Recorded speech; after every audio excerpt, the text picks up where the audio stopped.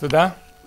אני רק אציין ששלושת הזוכים, אוקיי, מוזמנים גם להציג ביום הראשון שזה השמונה בנובמבר בתחרות וגם להשתתף בכל האירועים של התשעה בנובמבר. ההבדל הוא שמי שזוכה בפרס הראשון גם הטיסות שלו משולמות, שני האחרים אם הם רוצים לנסוע זה האתגר שלהם לממן את זה. אוקיי, אני מבקש את פרופסור סידי, המשנה הבכיר של נשיא הטכניון לומר את דבריו. אגב, כרגע אנחנו עושים את זה בעברית אבל כל התחרות היא באנגלית.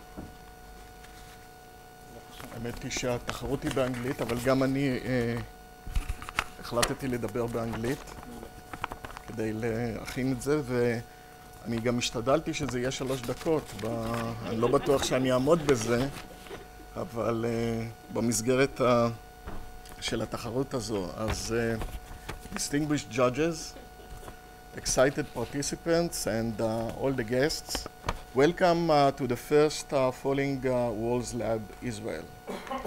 This event, uh, jointly organized by the Technion Israel Institute of Technology and the Hebrew University of Jerusalem, is hosted by uh, TCE, Technion Computer Engineering Center, and is supported by the Falling Walls Foundation and its partners. The aim uh, of the Falling Walls Lab is to foster scientific and uh, entrepreneurial innovations and to promote uh, the exchange between uh, young scholars and professionals emerging from uh, different fields of uh, expertise. This year, the International Falling Wall, Wall Labs take place all over the world, as Rafi mentioned.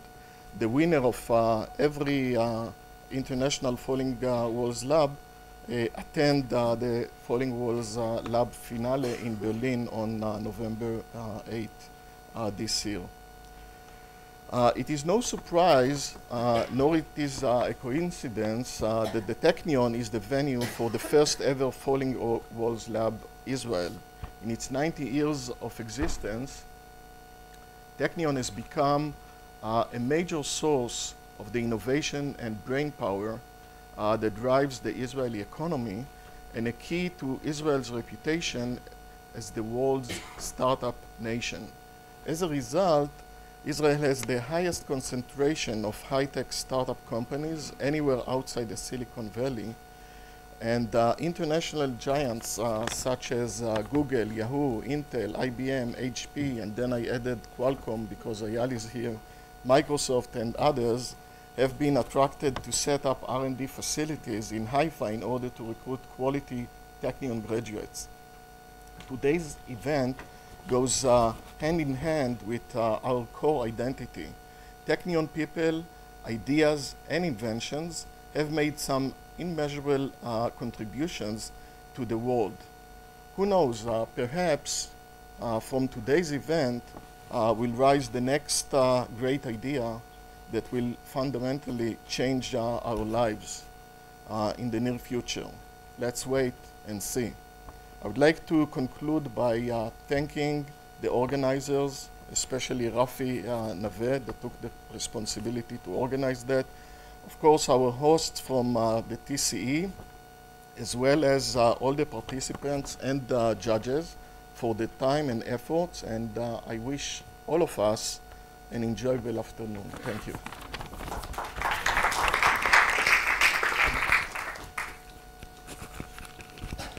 Thank you. So I'll switch to English as well. Um, and this is going to be very brief, okay?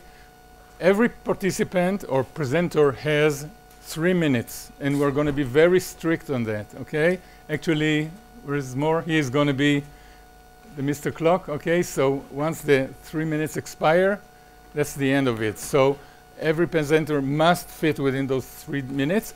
We have another couple of minutes afterwards for questions and answers. Those questions should come only from the judges and should be only on topics that are relevant for assessing the uh, innovation in order to make a decision which ones to select.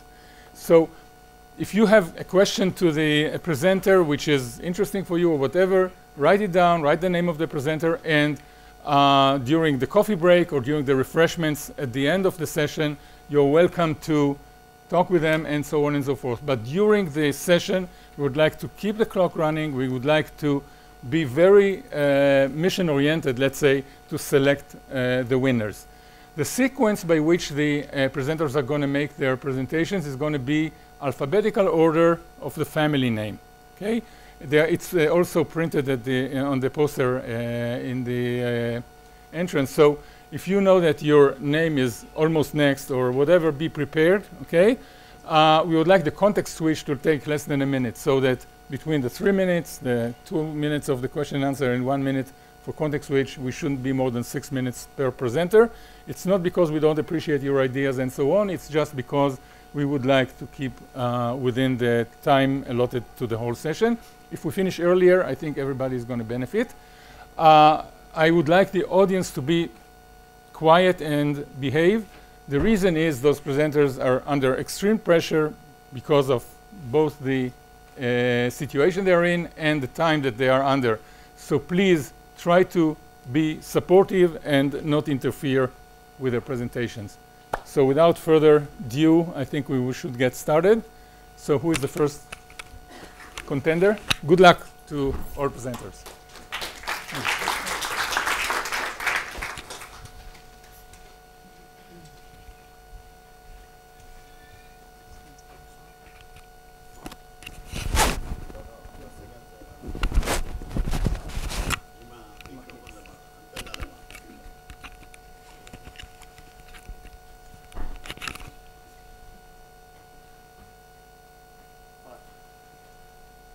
Today I'm going to talk to everyone here about a technology that we're developing in the Hebrew University and Professor Doron Steinberg's lab that addresses a problem, a wall, that we all deal with every, every day, every week, everyone in the world. That problem affects our wallet, it can affect our health, and it affects the global food supply. The problem, of course, bacterial food contamination. Now, bacteria, fungi, microorganisms, they cause our food to go to waste. The staggering statistics. One third of all food worldwide is lost, which adds up to over $1 trillion of food loss every year worldwide. Half of all of our fruits and vegetables get thrown out before, we, before anyone eats them. Now, in addition to ruining, to ruining the fruits and veg, to ruining foods, to causing them to be thrown out, they also, bacteria and fungi, that is, also cause diseases. They use the fruits, the vegetables, the poultry, the meat, whatever it is that they're on, as a vector to affect the human host. And that also leads to something staggering. One in every six people in the US alone are diagnosed with a foodborne illness annually, which also leads to hospitalizations, deaths, and hundreds of billions of dollars of economic loss yearly. Now, how do the bacteria do this? They communicate with one another. They need to communicate with one another in order to propagate. And now, what, we, what we're trying to do, our technology, what we've done is we disrupt this communication network. We disrupt this communication network so that they can communicate with one another, kind of like the biblical Tower of Babel, so that the bacteria can't form any sort of offense against the host, whether the host is the food that they want to destroy or the human that they want to infect. Now, our technology, very simple. Anti-quorum sensing molecules in a polymer, looks like this, like any glue you know we apply it on any sort of food packaging. That food packaging could be corrugated cardboard, like you see over here. A covered piece, a non-covered piece of cardboard. Doesn't make any difference to the eye, but it does change the physical and chemical characteristics of the surface. As you can see to your left, a uncovered piece of cardboard, and to your right, a covered piece of cardboard. We've changed the physical characteristics. It's no longer hospitable for bacteria to grow there. And if we seed that surface, any, any food packaging surface, with bacteria, we see dramatic changes as well. Here you see a three-dimensional bacterial community that has grown on this piece of corrugated cardboard, comprising hundreds of millions of bacteria that can easily infect food or you, causing illness or causing the food to be thrown out. However, over here, the covered surface, the bacteria can't even form a community. Without a community, they're not gonna, they're not gonna be able to hurt you because they haven't reached critical threshold levels. In sum, our technology aims to stop bacterial communication so that they can't propagate to critical threshold levels.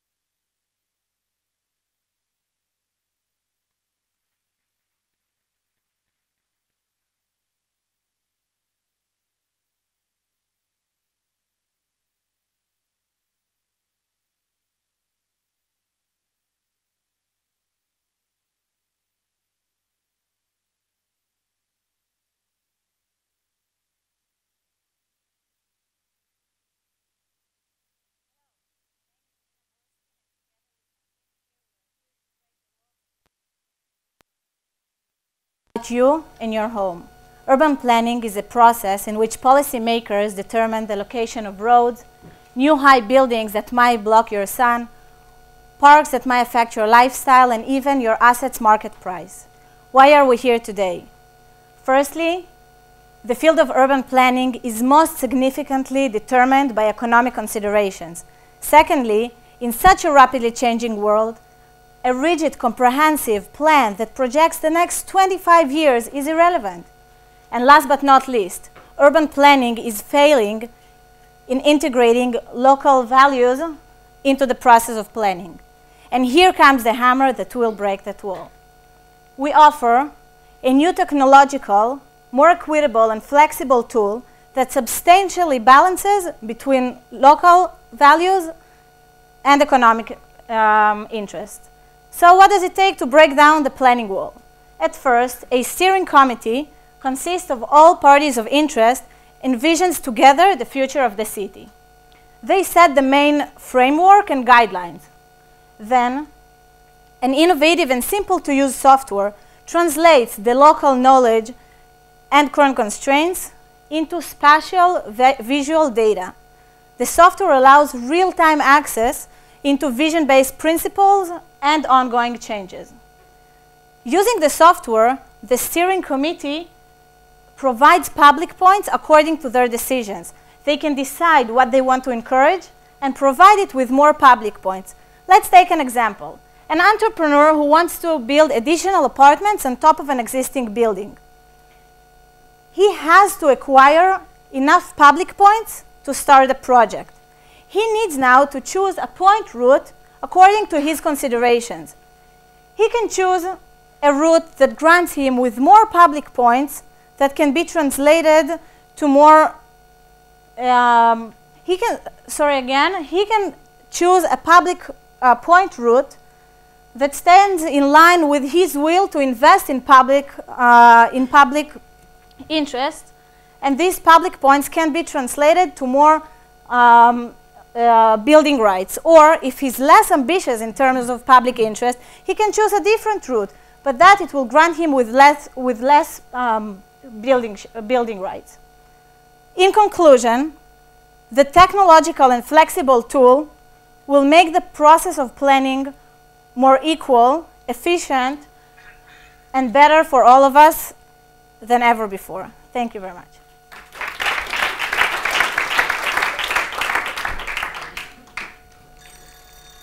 Oh, now it's done. Very good. Questions? Yes. The innovation is within inside the software of the tool that you're Right. developing? Right. In fact, today there is no technological tool that does it at all.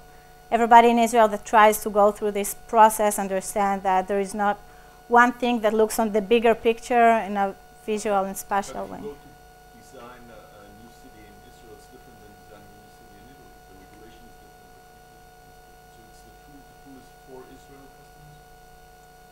Firstly, I think that in, I'm not sure how it works in different um, cities in the world. I'm a cadet on a program in Israel that trains public servant, and I know for sure that in the Israel municipalities, this tool is something they very they need, and that's not the way how they do it today at all. Today they have different sets of knowledge. Yes. So it's also basically a voting, the tool is voting, in other words, where you, you put options and the, and the audience votes. No, it's more than that. It's not. It's not a voting. Um, it's not a voting program. The program takes the different knowledge that exists and put it in one in one place, and gives points. Today, if you want to do something, it's ma- it's mainly de- determined by the economic considerations of the people in charge. But now we found a way by this method of public points that you can integrate the wants of all of us here in different methods into the it's a built-in thing in the process. It's not something additional. It's not you know that today if you disagree with something you need to disagree with the municipality after they took the decision. Here the entrepreneur won't be able to start his project unless he meets your or all of us uh, all of our interests Thank you. thank you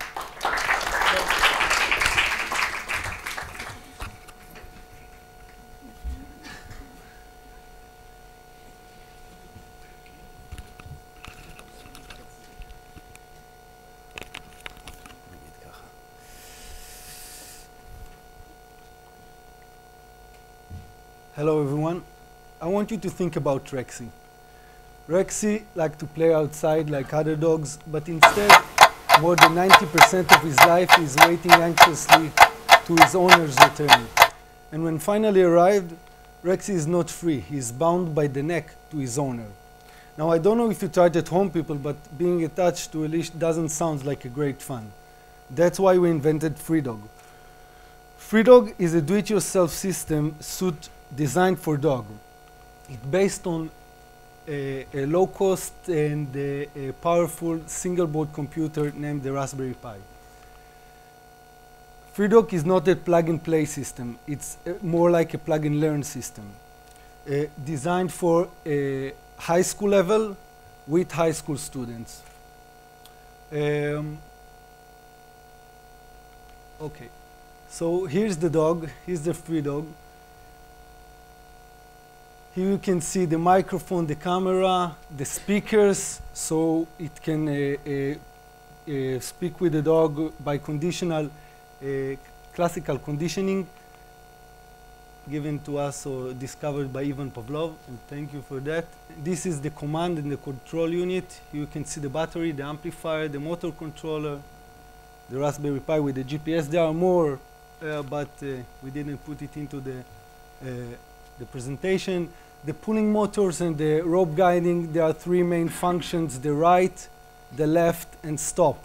This is the most important, and this uh, uh, done by the motors. Uh, there is a subsystem to deal with the feces and a, a pulse sensor for monitoring the dog.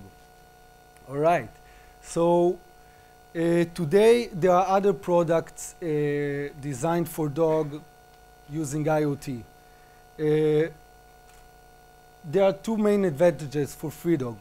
First, FreeDog is oh the cameras. FreeDog is uh, FreeDog is, is has a guiding system. No, none of other uh, products have a guiding has a guiding has a guiding system, and also it's a do-it-yourself.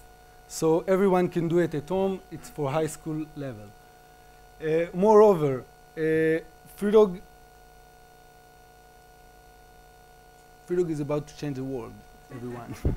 and I forgot what I needed to say, but but it's written for me, so I just check it out for a second. Sorry.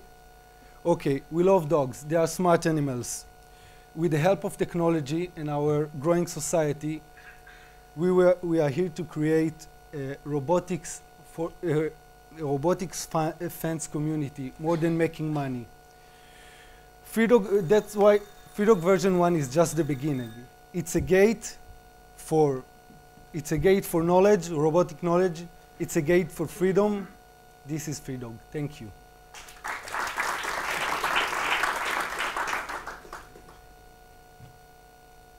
Sorry for the delay. No question. Thank you. Oh, sorry, just, uh, I do have a quick question. Can I? Sure. Okay. Uh, uh, my dog loves to roll on the grass whenever I take it out. Um, would that survive? Uh, yes, it will survive. This is the first model that uh, the it doesn't look like it can roll on the grass and everything, but this is what we're working on, and it's for experiments. So the Testing. plan is to, uh, to make it rugged enough so the real dog can actually. So real dogs can use it actually, and it's developed with everyone around the world. It's open source, so everyone can just download and taking whatever they need, and make it better. Thank you. Thank you.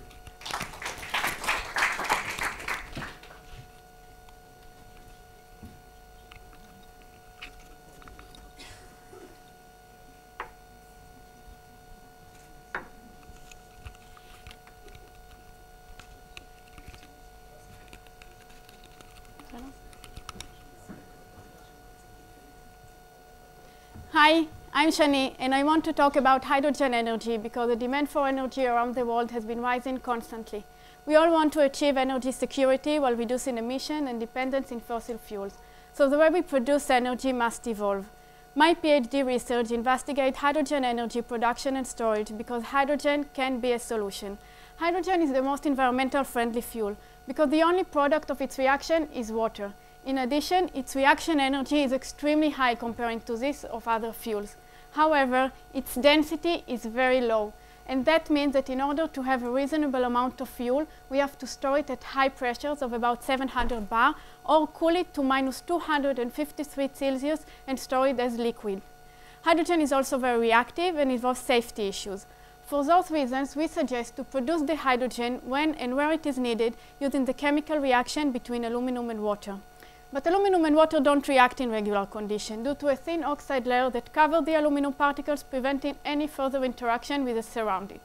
The main novelty of this research is in-house patented aluminum activation method involved a small fraction of activator.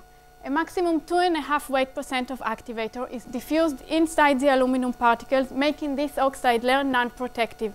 This original method is also very safe because only aluminum is stored. Now our fuel is activated aluminum powder. This is tap water, but we can use any type of water, including seawater and wastewater. Whenever we need energy, we produce the hydrogen. You will soon see the reaction starts. It's highly exothermic, so we will also see water vapors. The hydrogen produced here is channeled directly to a fuel cell to produce electric energy. Fuel cells produce electric energy using the chemical reaction between hydrogen and oxygen, with only water as a byproduct, so there is no pollution. We demonstrated the combination between this technology and fuel cells using this small model car, as you can see in this short video. The combination of our technology and fuel cells can store up to 2,200 watt hour of, of electricity per kilogram of aluminum. And even when we include the weight of the whole system, we get much higher values than batteries. For example, lithium ion batteries store the maximum of 250 watt hour per kilogram.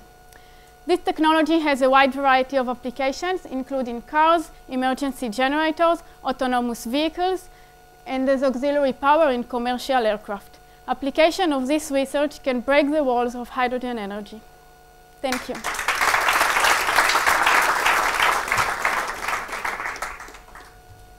Questions? Is the aluminum reusable? Can you recharge it? Yes, actually, uh, what you have left, uh, you can see now the reaction, but what is left over after the reaction ended is aluminum hydroxide, uh, which you can uh, recycle back to aluminum. This is actually one of the part of aluminum manufacturing process, but you have to invest energy in order to do that. The other option is to sell it because aluminum hydroxide is the number one fire retardant in the world.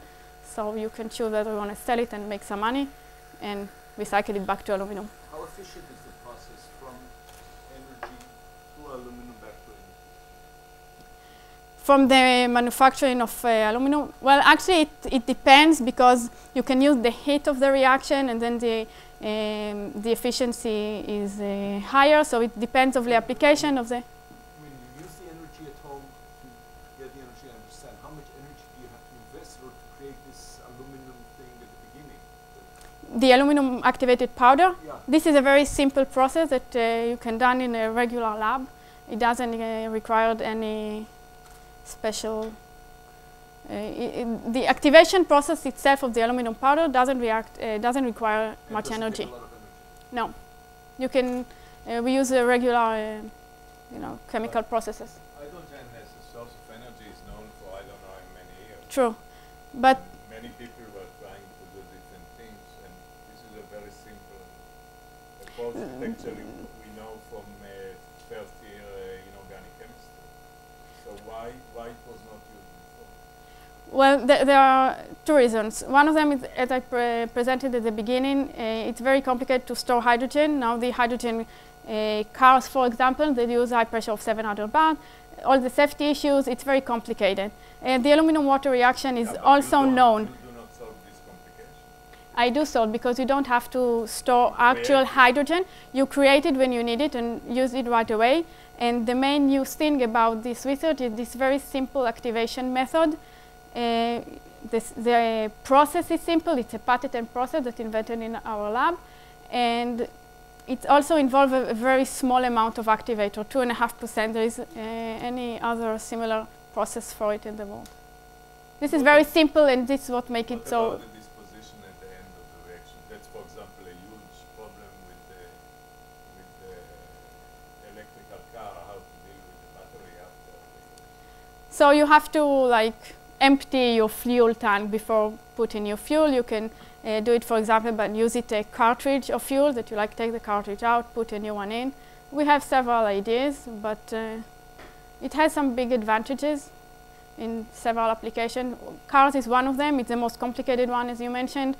But emergency generators, uh, autonomous vehicles, it give much longer range. Thank you. Thank you.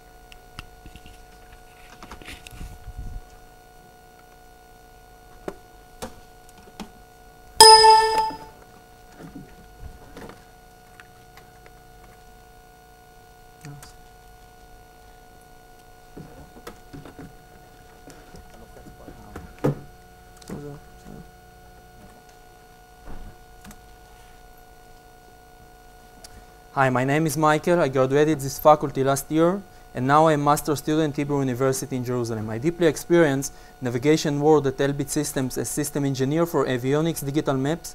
So during the past two years, I research and developing as an entrepreneur in Jerusalem CIFTech Center the, uh, the groundbreaking concept I will introduce now, the spatial navigation. Today, prob- uh, today problem with GPS-based navigations is it all about vector navigation on lines originally designed for traffic roads. Derived solutions for pedestrian exist, while it's not uh, from scratch oriented solutions. Possible improvements were missed, especially existing navigation skips the concept of exploring and orientation within the surrounding space, while concentrate on next junction move uh, only. My development offers solution addressing these problems, and soon you will find out it hide it hiding great opportunities from changing the way people with disabilities navigate in the city space to definition of new algorithmic problems used in variety of fields. Meet the spatial navigation. First perspective is topography, which above it is a three-dimensional urban layer. Second perspective is a maximum visibility zones. Given that topography and urban construction, from what area a well-defined geographical feature can be seen. Final perspective is from one who navigates in this urban space, taking into account all this. What can I see? What is behind me? And especially, what can I know with all the IoT and the internet? First, we, def- uh, we define new navigation paradigms. User field of view is the direction of navigational device. Anything combines GPS and gyro, not just the phone, even the smartwatch of Apple. The model discovers geo data from uh, databases, from specific place on skyscraper to mapped IoT sensor, recognizing for a blind pedestrian if, so, is, if someone is now interrupting the map stairs behind him. Analyzing space for visibility is crucial for navigating in the 21st century urban space where all is mapped and con- uh, connected. Another mission is integration of multiple sourced three-dimensional GIS data, Geographical Information System. The novelty is one, extension of isovist, also known as art gallery problem, to what I call polyvist, pro- uh, polyvist problem. For example, while we knew from where this entrance to the building is seen, now we also know from where the whole building is seen. The second thing is novel, unique statistical approach I started developing as personal project at Elbit Systems for avionics civil certifications is the equivalent for the FDA for the biologist. Approach, approach analysis, big data combining topo raster and three-dimensional models for better accuracy results. The implications are all in. Defining new algorithmic problem used in other fields, building new paradigms for navigation. You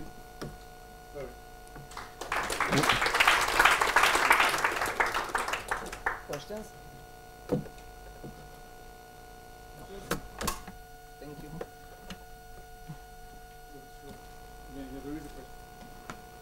Actually, there is a lot of experience with this system, and I know Okay. in many places uh, it's used. אני אענה בעברית כדי שזה יותר מהר. העניין הזה של... אה.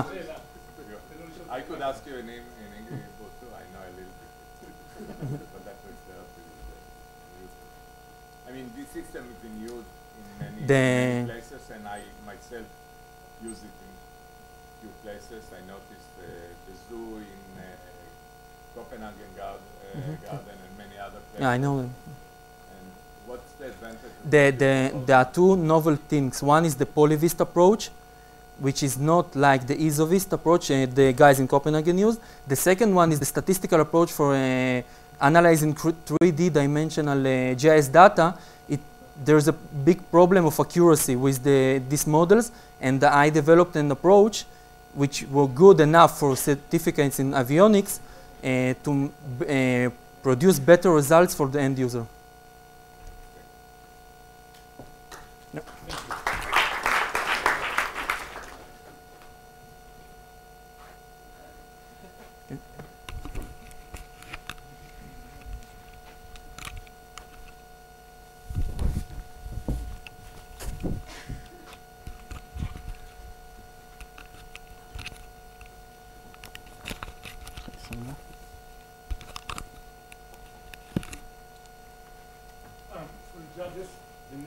So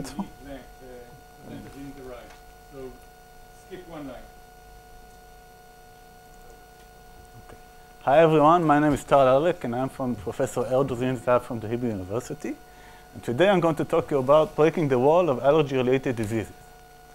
In order to understand which force we need to break the wall of allergy, first we need to understand what the wall is made of. Allergy is the overreaction of the immune system to certain molecules called allergens. Mast cells, the primary cells involved in allergy, are activated by these allergens in a process called mast cell activation or mast cell degranulation. During this process, mast cells release their granules, which contain different mediators such as histamine or various cytokines, which give us the allergic symptoms. I want to emphasize that although there are thousands of different allergens, such as pollen or dust mites, the end phase of all allergies is the activation and degranulation of these mast cells. Therefore, if we were able to stop this process, we could treat all cases of allergy. In order to break the wall of allergy, we decided to develop mitochondrial STAT3 inhibitors. This idea came from my PhD studies, in which we asked a very simple question. Where does the energy for the degranulation process of mast cells come from? We found that the mitochondria, an intercellular organelle which produces chemical energy, supplies the energy for this process, and also mitochondrial function is elevated during mast cell activation. Next, we asked which protein could regulate this uh, enhancement in mitochondrial function. We looked at STAT3, a protein which uh, usually you know is uh, involved in gene expression, because in cancer cells, totally different cells, uh, STAT3 is found in the mitochondria. There, it regulated mitochondrial function. And we estimated that in mast cells, STAT3 could have a similar role. In order to check this hypothesis, we inhibited STAT3 using a STAT3 inhibitor called Stattic. Incubation of mast cells with this inhibitor, only four minutes, reduced mitochondrial function. Uh, to our surprise, uh, inhibition of STAT3 in the mitochondria totally abolished mast cell function such as degranulation and cytokine secretion. The next step was to target a STAT3 inhibitor to the mitochondria because we didn't want to affect STAT3's role in gene expression. MitoQ is an FDA-approved drug, which is a, a mitochondrial target, targeted antioxidant. MitoQ uses a TPP group in order to target this antioxidant to the mitochondria. And our idea was to use TPP with a STAT3 inhibitor to target STAT3, uh, target the inhibitor to mitochondria and create a mitochondria STAT3 inhibitor. Today, we have developed several inhibitors which work great, don't affect gene expression, don't kill the cells, and most importantly, repeat it arousal and muscle function. Thank you for your attention.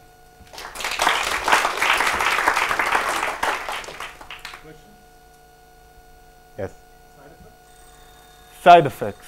Um, we really don't know what is the role of mitochondrial STAT3 in other cells, but the way to deal with side effects is give it locally, and we're also able to specifically target mast cells, but we need morphonic to create this molecule. For uh, inspiration with ulcers, for example, uh, for rhinitis or for asthma, dermatitis, yes. How long does it last? The effect? Um, we didn't check how long that would last. We did uh, inject this inhibitor 24 hours before the induction of allergy, and it worked over 50% in mouth. Um, we are just at the beginning. Now we're going to start uh, pharmacokinetics and check this question. Yes. Did you check mitochondrial function in other cells which remote from the place of Which? Since you are going to use it locally, Yes. question was, did you, check the fact of other function in cells remote from the place of it doesn't say. We don't know which cells have STAT3 in the mitochondria. This is a very, very uh, novel area of research, and there's not enough studies to do this. We know that there is like uh, mitochondrial STAT3 in sperm cells and a few other cells, but this isn't known yet. Did you study the level in blood? The fact that you give it locally doesn't mean it stays. No, no, we, we want to give it locally. Today, what we did, did we injected IP systematically to the entire body.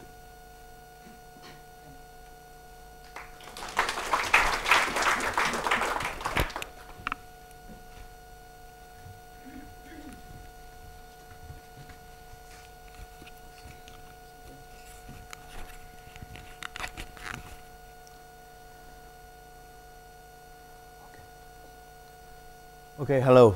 Thank you very much. I'm uh, Itai Katz, and uh, what I want to speak about is the, uh, about uh, MRI, which is perhaps uh, the most uh, robust and effective non-invasive diagnostic tool. Now, just to give an, an impression, these are scans of various objects you all probably know. Can anybody guess what these are? Well, fruits. Okay? So, uh, but the thing is with uh, MRI is that uh, the signal comes from uh, the magnetic polarization of uh, atomic nuclei within the sample. And uh, this polarization is typically very, very weak, um, which gives rise to a very problematic signal. So the instrument is kind of blind. So to get from uh, uh, this low signal blurred image to this uh, well-defined image can be a matter of 45 minutes, okay? And this is a, a very serious wall. Um, in, in contrast to atomic nuclei, unpaired electrons um, are much more effectively polarized by magnetic fields. And under certain conditions, this polarization can be transferred from the electrons to the nuclei, thereby greatly enhancing the, uh, the signal uh, available for MRI. And uh, this process is known as dynamic nuclear polarization, in short, DNP. And, um, but for, for an efficient DNP process, the, the unpaired electrons must be long-lived. And when you say long-lived unpaired electrons, you actually say stable free radicals. So, uh, in order to exploit this method, you must have stable free radicals. And even if you do the whole, the entire process of polarization outside the patient's body, and only then inject it, you flush in all the radicals that are mixed up in there. And this is medically unacceptable.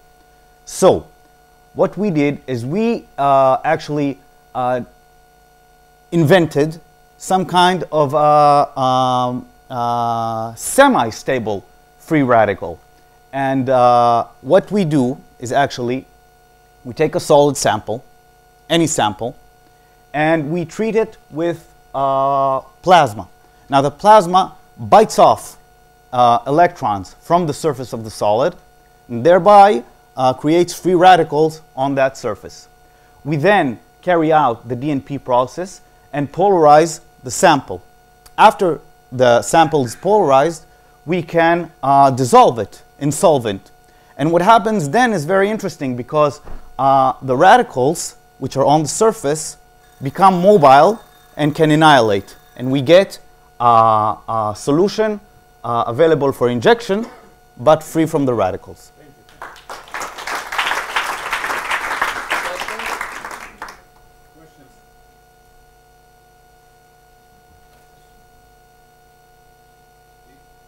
You, you ma- made any comparison of the two methods? Of the classical one and your My, mine is not, uh, not quite as good as the classical one as for now because it's, uh, it's preliminary. We have to optimize it. So quantitatively, how, how good is it? What signal enhancement can Well, you get now and you look, in, in, in perfect, perfect, perfect conditions, you can get enhancement of 200. In uh, most conditions, you get um, 60, 50, 40. I got, uh, at best, I got 20. Okay? So there is a way to go. But this is where it stands at the moment.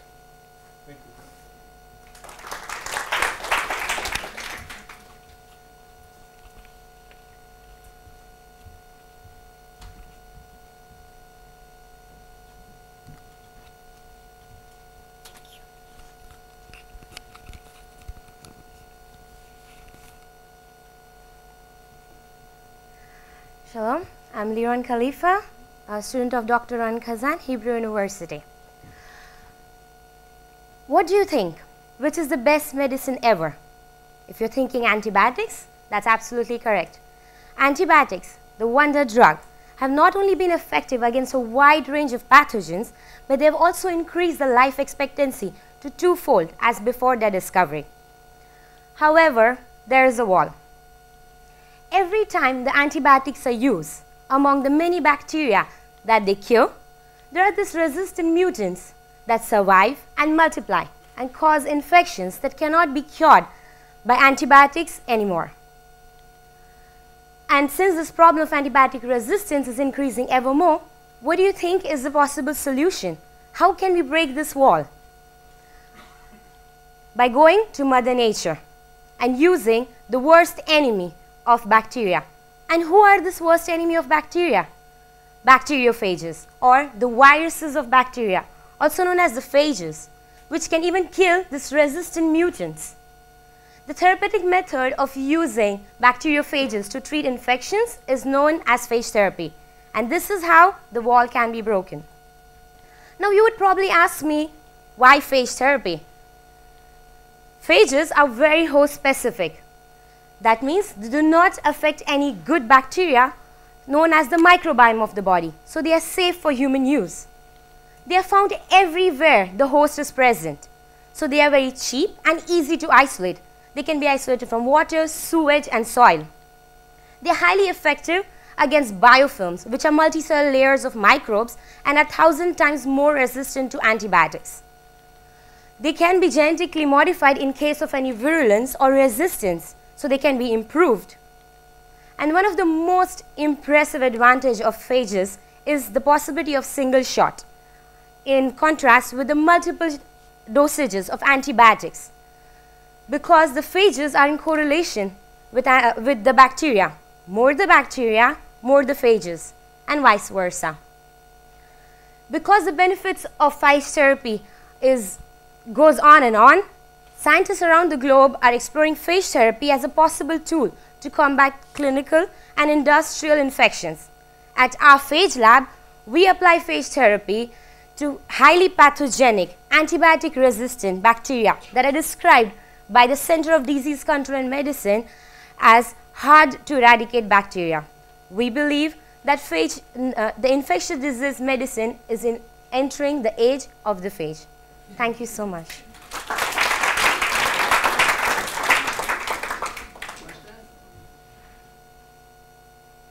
Yes, please. Uh, I don't know much anything about this, but what's the novelty? So, um, as I said, a lot of scientists are working with phage therapy, but we are working with phage therapy in dentists, in dentistry. That is our innovation. No one has ever worked with uh, dental bacteria and phage therapy together. So, yes. Are resistant to phages as well. I mean, if you take bacteria phage lambda, you would have a Exactly. resistant uh, bacteria quite quickly. Yes, exactly. So what is the advantage? Great. So that's what. There are two possibilities in case there is a resistant. For sure there will be because bacteria will evolve along with the phage. Possibly there are resistance. But now we have methodologies like genetic manipulation. We can overcome the resistance by that. Or every bacteria has a possibility of having n number of phages, like phage isolates. So if one phage does not work on this bacteria, you can go isolate very easily and cheaply a new isolate of phage and use it against this bacteria. But you need to, to get an exact idea of the pathogen because bacteriophage is very specific, a very subspecific type of bacteria. Yes, but the same bacteria, the same kind of species or subspecies can have n number of isolates. I think it's around 200 or more, in fact. So if if one if the bacteria goes and becomes evolves against one as resistant, you go to probably the same source and get another isolate of phage. Thank you so much. Oh, sorry. Thank you.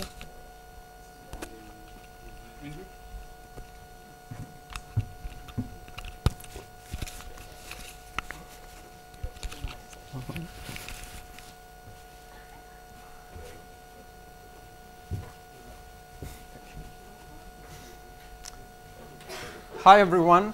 Thank you very much for having me. My name is Andrew Kramer. I study towards a master's degree in computer science at the Open University of Israel.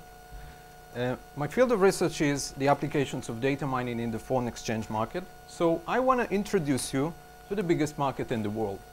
FX, Forex, or the foreign exchange market is actually the biggest market in the world. In terms of daily traded volume, it's more than $5 trillion a day. And most of the trading, more than 70% of the trades actually, are executed automatically using algorithmic trading. Algorithmic trading is the automated execution of a trading algorithm. the problem is that algorithmic trading today is regarded as some kind of private VIP party for the big players, the big institutions, the major investment companies, the big bank banks, and in general the big players that can allow themselves the big bucks on superior infrastructure because it's all about high frequency trading, low latency, nanoseconds, superior computing power, eventually creating unfair market conditions and a virtual wall. This is the wall of algorithmic FX trading, dividing the big players and the small investors like you and me. So, what can we do about it? How can we break the wall of algorithmic FX trading? For the past three years, I have been exploring the applications of data mining in the foreign exchange market. With a couple of my friends, we have been developing a proprietary trading algorithm which completely cuts off the elements of speed, robustness in terms of computing power, or physical closeness. We have been profitable since the beginning of the year using open source software, data mining, machine learning algorithms, and computer science principles in general. Eventually proving that there is another kind of algorithmic trading. So quantitative investment and quantitative finance are for all. So it's only a matter of time when the small investors gonna break the wall of algorithmic FX trading and start using the tools of the big players, eventually proving that there is another kind of algorithmic trading today. Thank you.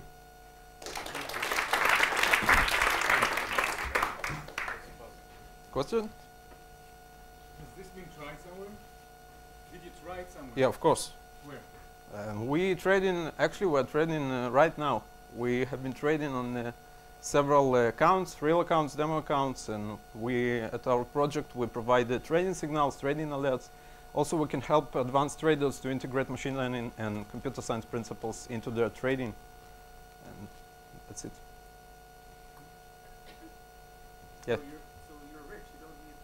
No, it's not that simple.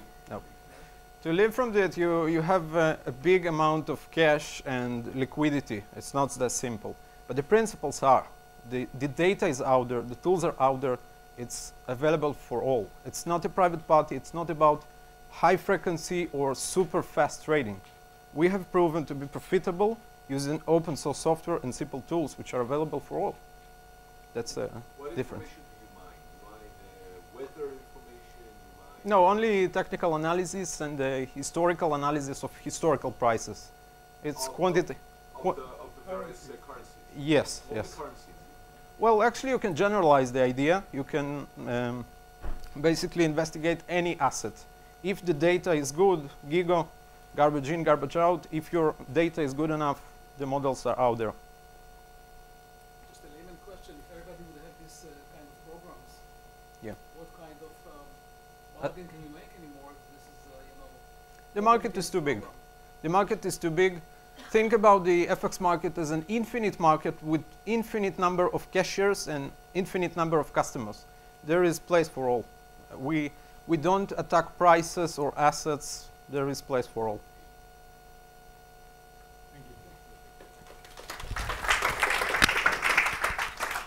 You go to Berlin, we give you only shekels.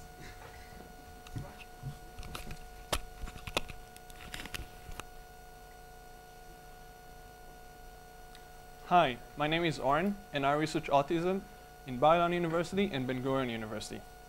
Imagine having a child with autism, taking him on his first day of school, and then the bell rings. He covers the ears in pain. That's because his brain is sensitive to the bell. Children with autism describe that the bell sounds to them like a dentist drill going through their ears. Makes you want to cover your ears too.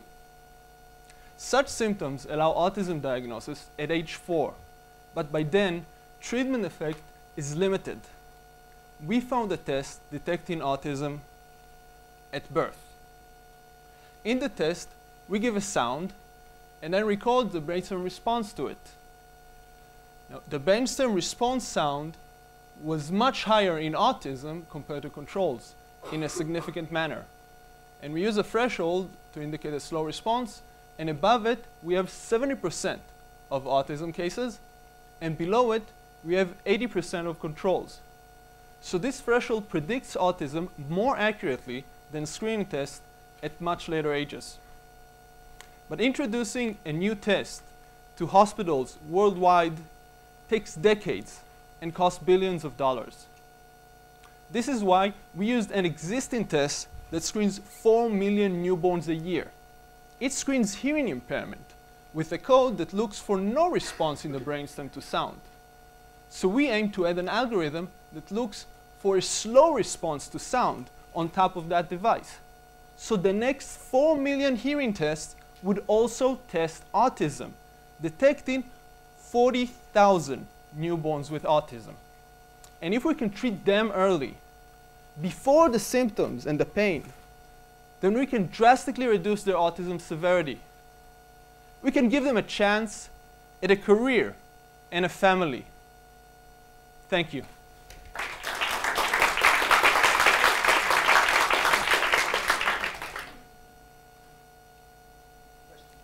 Did you prove analytically that this uh, correlation is such that you can distinguish whoever has autism versus not at the age of four months?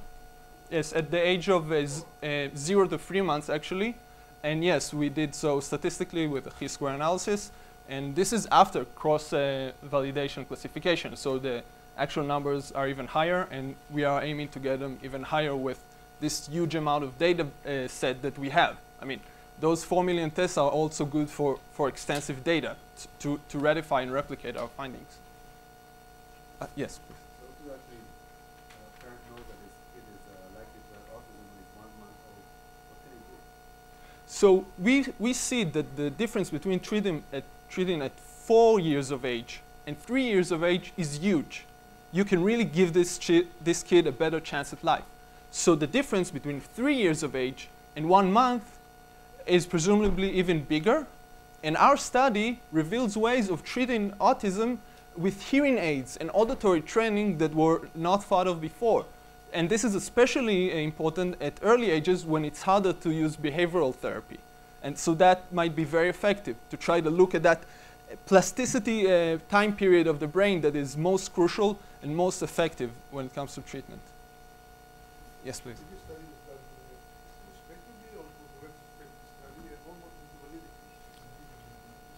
Oh, so we did it retrospective because, as we said, it used to so many kids. We took a list of all the, the children that were diagnosed in Sheba Medical uh, Center and looked back at their tests, and that's what we aim now to do with millions of more tests. And we checked the, the validity, and our uh, sensitivity was 70%, our specificity was 80%, and uh, our follow-up studies are showing even higher uh, rates of accuracy. Oh, yes. How does that relate to other known tests that people have done in different ways? Well, right now there's no um, working uh, biological screening, and uh, those that are being uh, suggested, like eye tracking or fMRI, are much less accurate. And we need to remember that fMRI costs 10 millions, uh, tens of millions of dollars, and really trying to get that for every infant born is next to impossible. So we're using a much better uh, alternative. And of course, the behavioral screening only works at 18 and, and 24 months and even later because those symptoms are very, very delicate when it comes to behavior. And, and all of the parents know how hard it is to say, that won't go away. That's not something that starts today. That doesn't, that's not something that will develop. This is a permanent problem. Parents have a problem taking that, and so we use a biological marker that looks before those symptoms start, and perhaps with early treatment, reduce them and maybe even uh, prevent their appearance in certain cases, as studies uh, suggest. Thank you very much. The original plan was to have now a 15-minute coffee break. My suggestion is that we continue and continue and uh, not take a break. Okay? So probably we will be done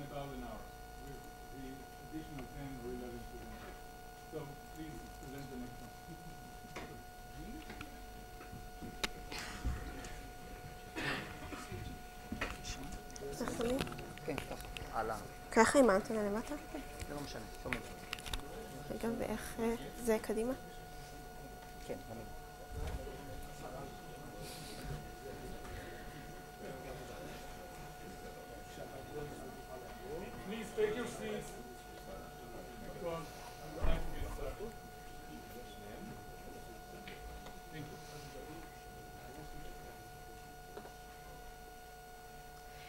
Hi, I'm Shifra, and I want to present to you today my idea of how to solve the energy crisis we're currently facing in an environmentally friendly manner. So, as you all know, our oil resources are being depleted and are limited. But the point is that around us we have this great source of renewable energy that is not being utilized and is being put to waste. And this is the plant biomass. Plant biomass is all the trees and the grass you see around you, and also the plant debris that's been rotten in the earth, including the organic waste that we don't know what to do with. And if we could only take this plant biomass, degrade it into its sugar components, and then ferment that into ethanol, we'll have a great source of energy renewable, cheap, plentiful, and environmentally friendly. But why don't we do it? Why? What's the wall that we have to break? So, the process of converting biomass to biofuel by fermentation and degradation is a process that's possible chemically, but we humans do not know how to do it efficiently or economically. But microorganisms can. They have developed, through years of evolution, these fantastic systems for the utilization of plants, and we can harness them to our advantage. But the problem is that plants are composed of many different components. You've probably heard of cellulose, but there's also cyanide and lignin and many others. And in order for the process to be efficient, we need to degrade all these components and ferment all of them into ethanol. But there isn't a microorganism that can do it all, and we are facing a wall that we must break. So, how do I propose to break this wall? I propose to engineer a superbug. Now, this superbug will have the capabilities of all the different microorganisms to degrade all the different components of the plant cell wall, and in addition, ferment them into ethanol. Now, how would you start by doing such a thing? Well, first, let's study and select the optimal microorganisms that can do this job the best and their utilization systems, and also select an ethanol production system. Once you have these together, you could put it into one organism through genetic engineering, through mutagene mutagenesis to generate your superbug. Now, you could say this is very ambitious, that this is science fiction. But no, this is definitely science. For example, in my PhD, we have characterized an organism that knows how to efficiently degrade arabinon, but it doesn't know how to produce from it ethanol. But recent discoveries show that you could insert into it the ethanol production capabilities of yeast. And this shows that although ambitious, my idea is feasible. So to summarize, my idea will hopefully break the wall of the, of the utilization of plant cell walls. Thank you. Out of, out of hundred percent mass that exists today, Mhm. how many of that can be generated into ethanol today? So today, the idea is more targeted towards a single type of polysaccharide. There's a lot of work being done on cellulose. And cellulose is actually just 30 to 50% of all plant, of the plant cell wall. And that isn't efficient. So people are trying to break just the cellulose, and that's not very efficient. So my idea is instead of trying to improve only the cellulose, try to target all the components. And then just by mass, you have a better yield. Rather than treating all of these components one by one, you want a superbug, but Exactly.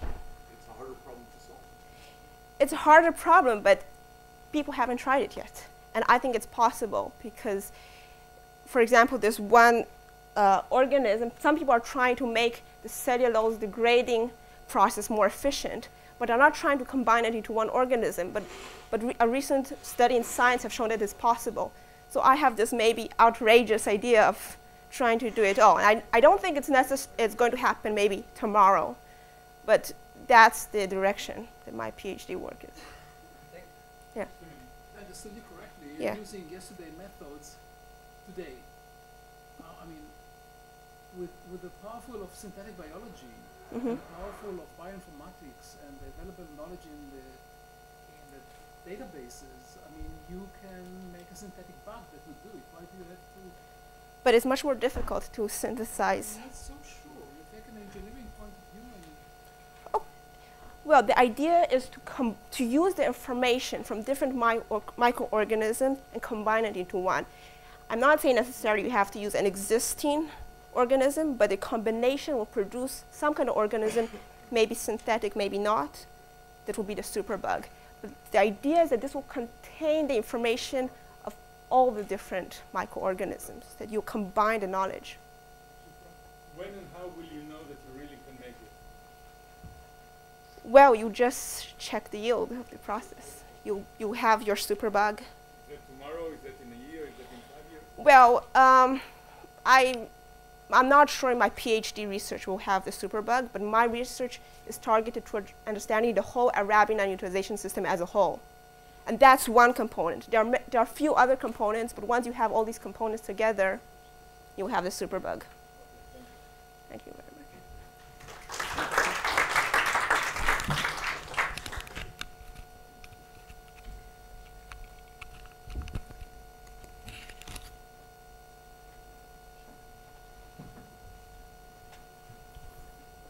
Hi, I want to thank uh, Shifra for uh, getting a, giving an introduction for my lecture because today I'm going to break the wall of functional division in microbial communities. So, today, uh, with the advancement of technology and the low prices, if you can sample it, you can sequence it. And if you can sequence it, you can guess, you can surely know who's out there in your sample. And many times biologists get stuck uh, at this stage and they don't know how to advance. So what we, we try to do is understand how a bunch of bacteria eat something together, like uh, Arabinan, sorry, Shifra. Um, so we try to link environment, function, and microbial communities. How do we do it? I will demonstrate by uh, the example of this data of the root and soil niches of cucumber and wheat that was published last year in Nature Communications. So, uh, our approach is based on three major steps, here colored by the degree of innovation. So first we get the data and we map it to different IDs. And then we create uh, metabolic networks for the metagenomic sample. And then we use the Simpson uh, ecological index, usually used for species uh, dominance in a community, but here we use it for uh, calculating dominance of function within the sample. And we use the Simpson index and our networks uh, uh, to establish functional division in the metagenomic sample. So what we get is this. It may uh, look daunting at first, but here we get a global look on the contribution of the top five dominant orders of bacteria in all the niches uh, in this data. The darker the square, the, the larger the contribution of the, of the bacteria to that function. White square denote no, no contribution to that function at all. So, what can we learn from this? We can see that most of the function contributed by our orders of bacteria are secondary uh, metabolism. This is very predicted, and we expected to see that because primary metabolism, like uh, breathing, is common to everyone. Everybody wants to live. So, we can also see that the bacteria from the Rhizobialis order, which are considered the powerhouse of the soil, have very different function between the root and the soil, niches uh, of the two crops. And finally, we can see that the bacteria from the Sphingomonadanus order uh, have contribution in the flavonoid metabolism. Now, flavonoids are, are very well-known molecules that uh, denote uh, communication between the plant and the bacteria in the root environment. So having another bacteria being able to disrupt this communication may benefit it or another. So uh, this is very interesting and only the tip of the iceberg. We have a lot more, but, but I don't have the time to tell you this. So thank you everybody and I hope this wall is broken. Questions?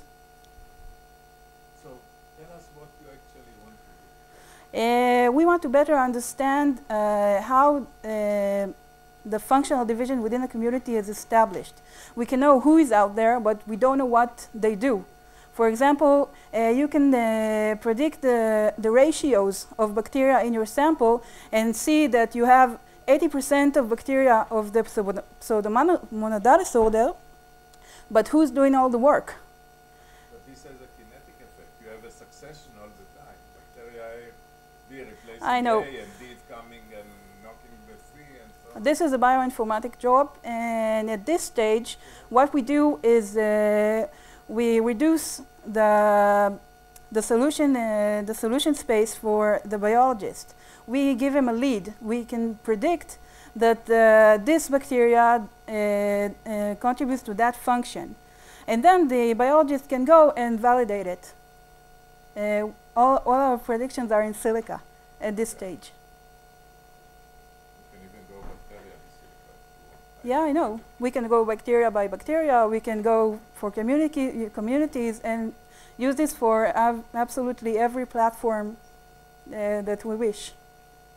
It's that simple and that complicated. Thank you very much.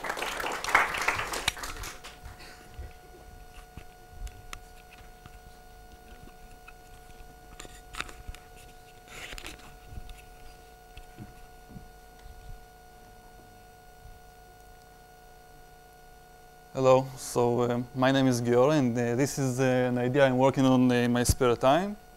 So I'm going to talk about uh, breaking the wall of uh, bad uh, driving culture. So um, I want to develop a system that uh, contains just uh, three buttons located near the dashboard of the driver that by pushing them illuminates on the rear window of the car the three words thanks, sorry and please. Um, people are generally polite, but as soon as we get into our cars, we lose ability. We lose the basic ability of uh, communication, as uh, eye contact, smiling, or body language. Um, the moment we get into our cars, so the main concern of, uh, of uh, each individual is how to avoid uh, being a sucker.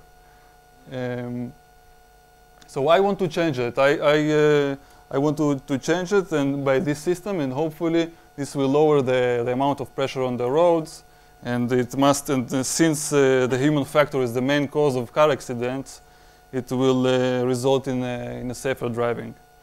So I've started uh, developing such a system using an Arduino platform.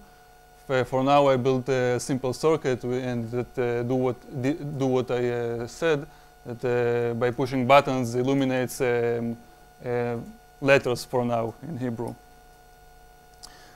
Um, you can think about uh, various examples where such a system, uh, situations on the roads where such a system uh, can be useful.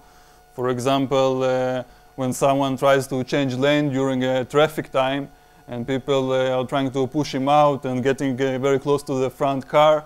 So uh, I think in this situation, the incoming car, if he would say please before he going inside and then thanks, it will uh, be much uh, more pleasant situation.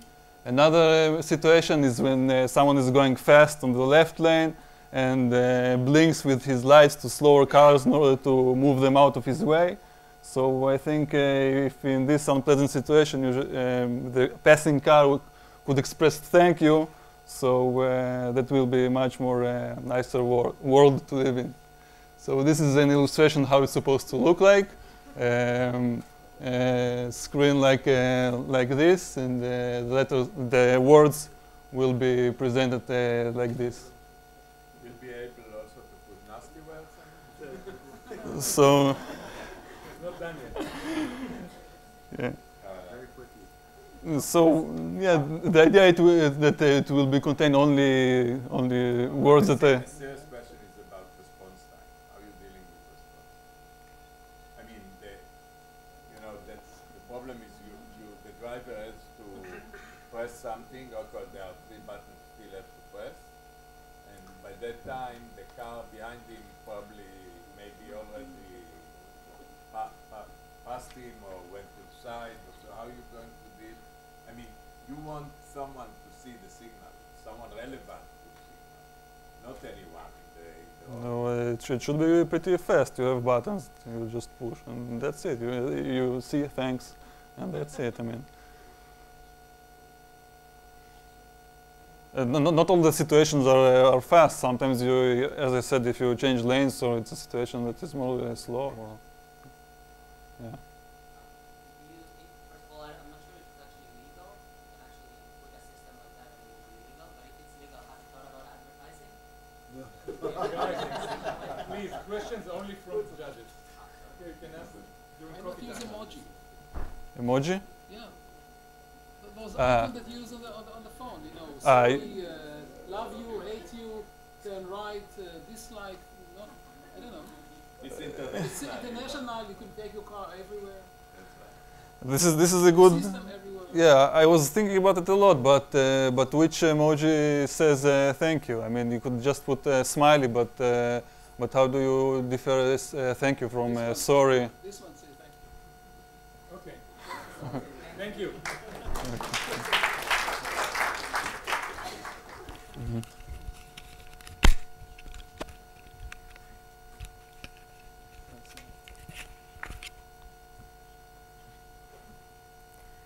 Okay.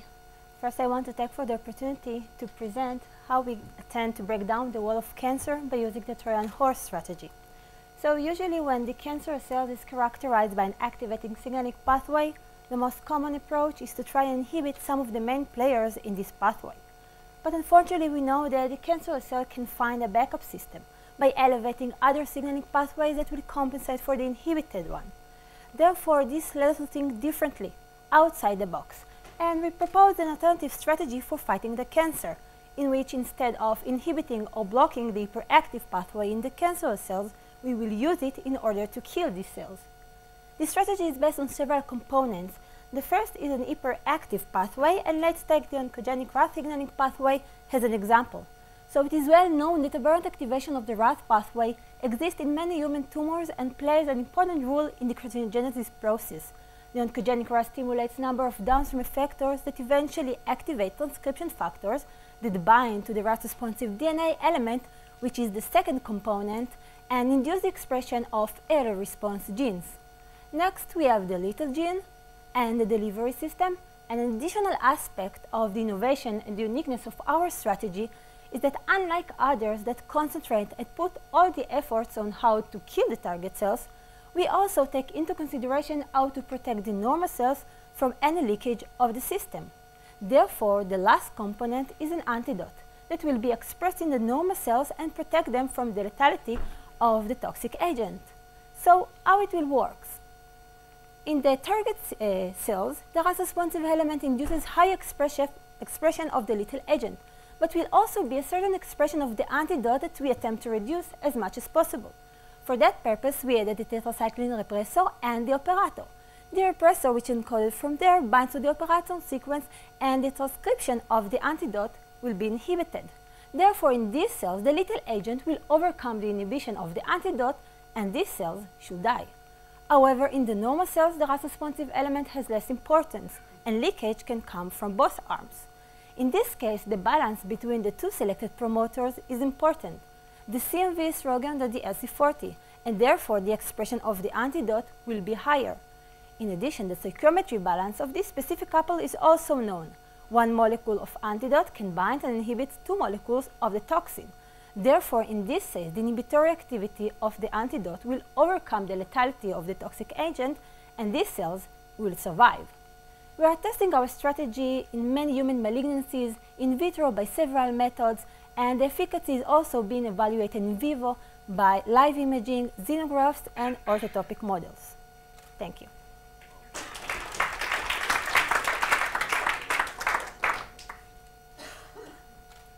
Yes. And then you need two delivery system, one for the calcium cell, the other one for the normal cell. What? Excuse me? Yeah. It's for all cells. We usually uh, you Yes, yes, but the antidote and the toxic agent will be expressed from the same vector. So the regulation is inside the vector itself. This is a very complicated system. Yes. Very complex system to develop into a drug is really very, very complex. Yeah, but we already. You're aware that there are much simpler systems to do the same idea, like the H19. Yes, but the uniqueness of our strategy is the antidote itself. Yeah, but there you don't need any. No, but any system have a leakage, so we try to protect the normal cells from this little uh, leakage. And if we are talking about such a little toxins, we must take it into account. We can steal the balance because this system is very nice. really. The, beautiful is that we can use it as a platform, so we can change the little agent and the delivery system and the hyperactive pathway. And for our needs, we are usually um, use the adenoviruses because it's very simple uh, um, system. But we are currently trying to establish less immunogenic systems like the antivirus and AAV, the adeno-associated viruses. Thank you.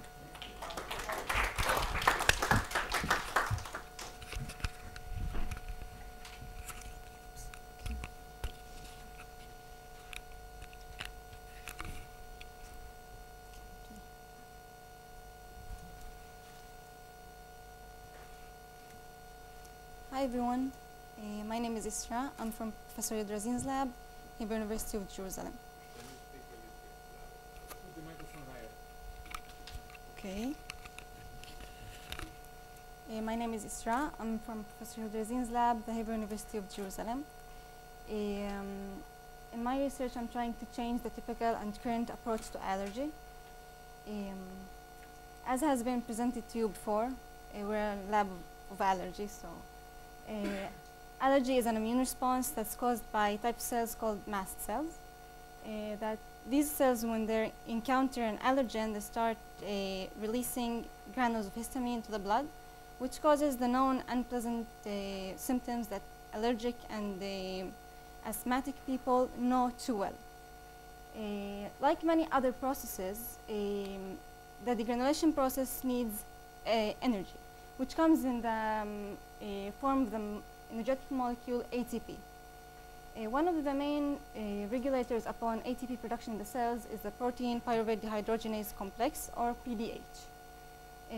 My research has shown for the first time that this protein plays an important role in this process of degranulation of these cells. We show that when we inhibit, um, we show that when we inhibit the um, inhibit this protein, this should reduce the uh, degranulation by 50%. Um, we also saw this uh, in when we, when we injected the inhibitor to mice, we saw a similar, uh, similar response. Um, the second breakthrough uh, of my research, which I personally think is beautiful, is connected to a protein called MITF. Uh, MITF up to now has been shown uh, to regulate uh, the development and um, the development and um, function of mast cells via gene expression in the nucleus. We show for the first time that this protein is localized to the mitochondria, and we, we also show for the first time that this protein uh, interacts with PDH. On top of all that, and most importantly, we show that this interaction has a physiological uh, significance. We see that uh, upon uh, activation of mast cells, uh, MITF starts detaching from PDH, and this implied that it could um, function as a novel, um, novel inhibitor of this protein.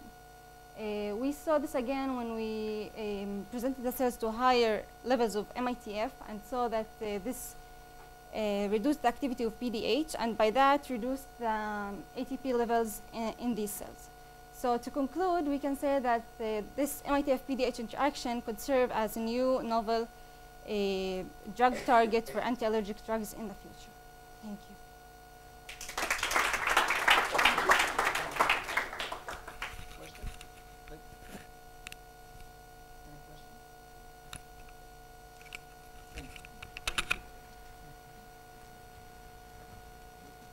Do you have any real, I mean, data in the system that really show that allergy can be inhibited by the direct, direct demonstration of the effect? We injected this uh, to mice, the inhibitor of this uh, cell, and we showed that uh, In four hours, it, it succeeded to reduce the um, histamine levels in the blood by a 40, 30%.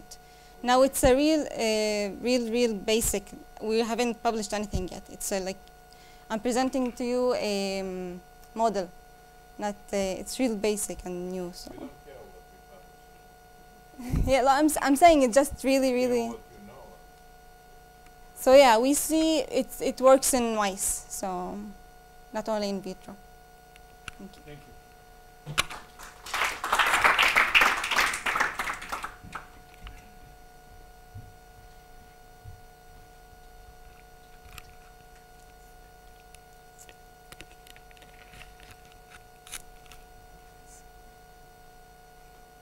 Hello. Today I will be talking about breaking the walls of architecture. Oh, sorry. It's not the right. It's not the right presentation. Sorry.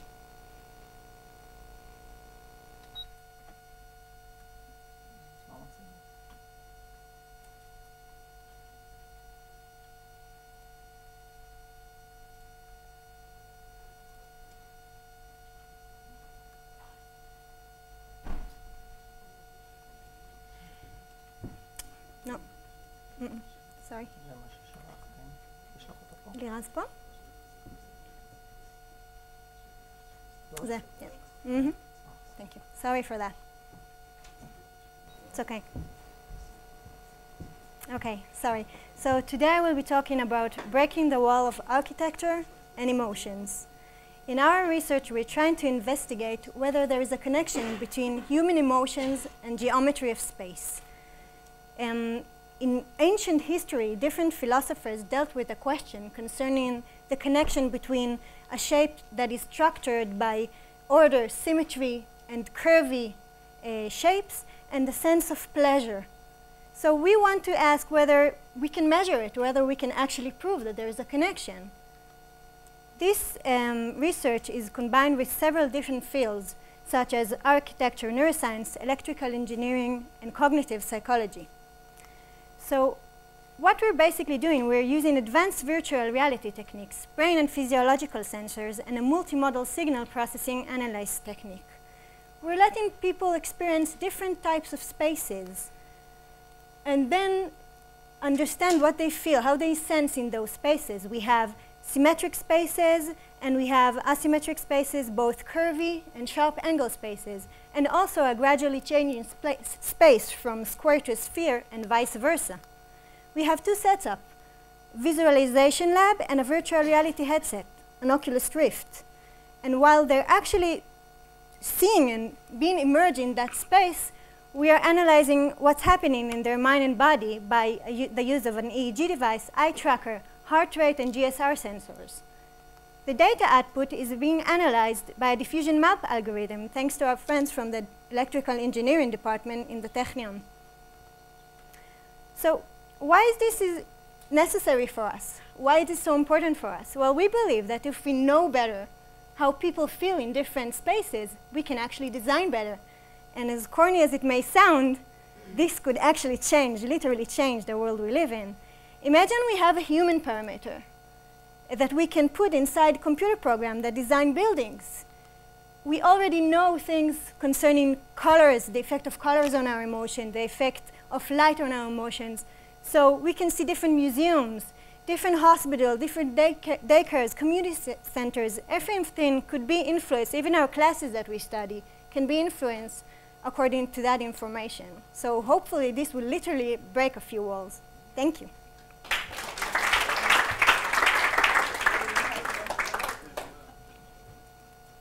Questions? So when you, when you have all this data, you find that it, uh, it's, that there's a consistent uh, uh, uh, findings that are universal uh, regardless of the person you're looking at, or is very, very diverse, Yes. including any generalization. Well, there are um, uh, Moshe Bar uh, from the University of uh, Bar Ilan also conducted a few experiments that are dealing with the connection between shapes that are curved and a sense of pleasure. We investigate, investigated it in a pilot study in the Technion in architecture, and we found interesting results concerning non-experts' interest towards curvy spaces. So we did that by questionnaires, but now, now we actually want to measure it. We want to see if we can actually identify it. So yes. How does this relate to other works in the field? What field? We have several different fields. What has been done in trying to understand? well, basic. Okay, so basically we have now uh, knowledge from um, researchers dealing with fMRI, frames, pictures, but we want to see how they actually feel in a virtual environment. This has never been done before, especially while movement, which is the most difficult thing to analyze. That's why we're using several different techniques of observation, so we can try and sync between them and find if we can identify something. So you are using basically what my grandchild children say, מציאות מדומה, is playing with it a lot. Exactly.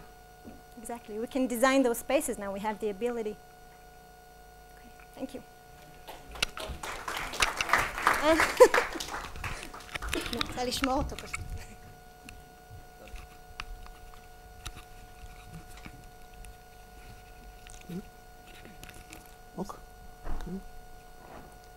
Okay, so hello everyone. My name is Ronnie Stern. I'm from the Department of Information System Engineering in Ben Gurion University. And I've been a software developer for eight years, and I think it's time to rid the world of software bugs. So uh, uh, I'll start by stating the obvious. So software is, is, is everywhere these days. It's not just our desktop application or smartphone apps, right? We have software in the cars, and as cars become more autonomous, it will be even more there, more so. There's lots of software in, in software plants and in, even in our bodies with, with the pacemakers and insulin injectors. And if there is one thing that's true for all software everywhere in the world, that there is no software that is perfect. Every software has bugs, and bugs can be uh, uh, even more common as the software becomes more complex. So, yeah, as, okay, so, so um, the problem is that bugs can be annoying, and if you look at the more important application, their, their uh, repercussion can be very, very problematic. And our message here, or my message here, is that we can use AI techniques to uh, solve this problem and to actually fix bugs. And in our lab in, at uh, Ben Gurion University, uh, uh, led by Meir Kalech and myself, we've developed and, and used several al- algorithms that are able to predict where bugs are, come to plan tests that will avoid bugs, and when bugs actually occur, diagnose them, find the software component that caused the bug, and there is even work about how to automatically repair uh, uh, bugs once they are found. So think about it. We, can do a software that will be able to diagnose and fix itself. So now, of course, I cannot go into details about how, how each of these components actually work. But what I can do is show you how, how, how, how can we come about to have these uh, techniques. And the secret is uh, today's uh, um, good software engineering practices, which are now industry standard. One of them is open source. Right? There is many. So the internal structure of many software today is open, so we can run automatic analysis on it to find the more complex parts of it. And these are the parts that are more likely to, to have bugs. The other part is that today, when a bug is found, it's immediately reported in an issue tracking system like uh, Bugzilla or Trac. These are systems that have all the uh, information about past bugs. And what's really neat about modern issue tracking systems is that they are linked to source control systems. These are systems like uh, uh, Git and Mercurial. These are systems that track the changes done in the software. So, so, uh, so, so what, what's really cool here is now we have all the past bugs in our software, and for each of them, what was the change in the software done to fix that bug. And this can be linked to the part of the software that caused the bug. And this is key. key. We have the link between past bugs and the software part that caused them. And now we can use data mining techniques to mine that information and learn a model that uh, understands from various features of the bug wha- uh, uh, the part of the software that has caused it. So now when a new bug comes, we can run the same model and identify the problematic parts of, of, of, the, of the software and then, of course, uh, uh, repair it. So, so to conclude, what we, what we have here is we are, we are using the abundance of data we get from modern software engineering tools uh, with big data technologies and more classic artificial intelligence methods to predict where bugs are, diagnose them, and repair them automatically.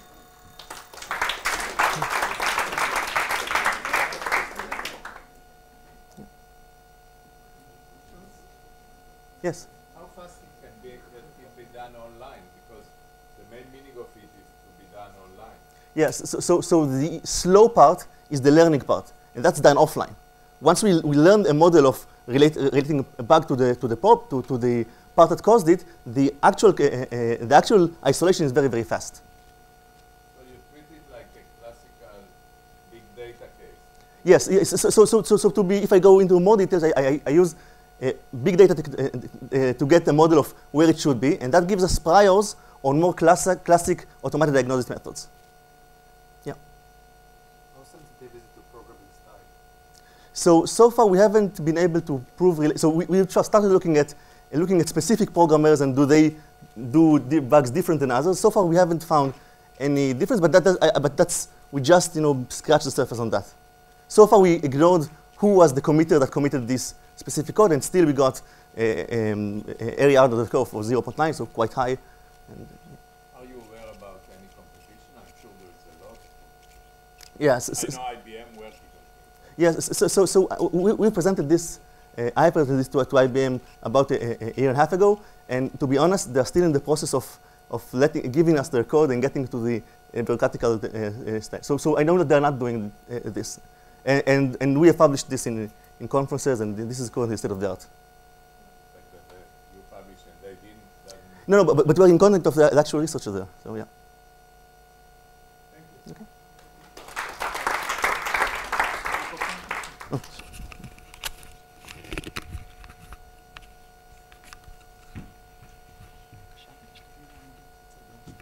Okay.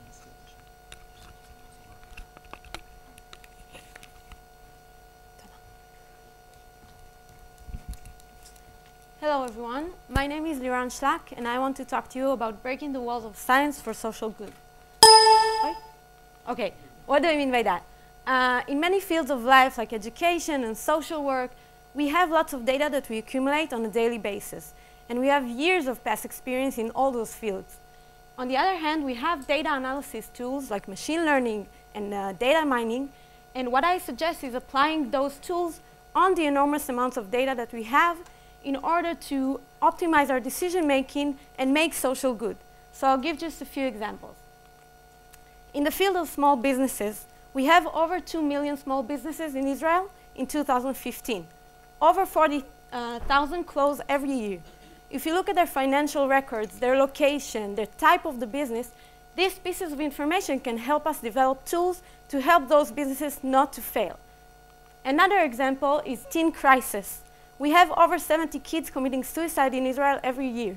We have their online presence, their Facebook posts, tweets, uh, teacher assessments. If we take all this information, we can predict which kids are in crisis and help them before they reach such a situation. The third example that I want to really focus on is the education system.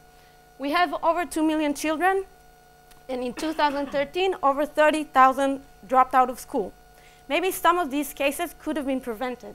If you look at their report cards, their grades, teacher assessment, um, attendance sheets, information about their family, all of this is information that exists. We can predict which kids are in danger of dropping out and help them before they reach this situation where they're already out of the system. So we have all the data. How do we use it? So we want to look at the past and predict into the future. We can use mathematical models of extrapolation, linear predictors like machine learning algorithms, and then we can look at students in the past that have dropped out or haven't dropped out, and we can take a new student and now we predict what is the probability of this student to drop out in the following X years. We can do clustering analysis. So if we take the, all the data, we can cluster kids into groups, and we can say maybe the red cluster are children that learn best with method A, and the green learn best with, best with method B. So if we take this one step further, we can do personalized learning. What do I mean by that?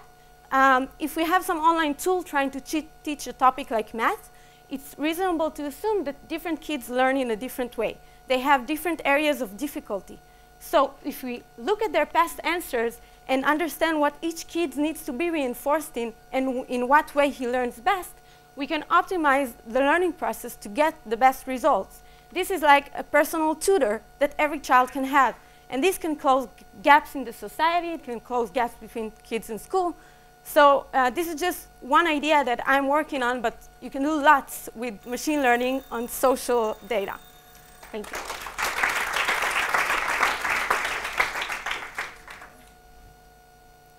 Questions?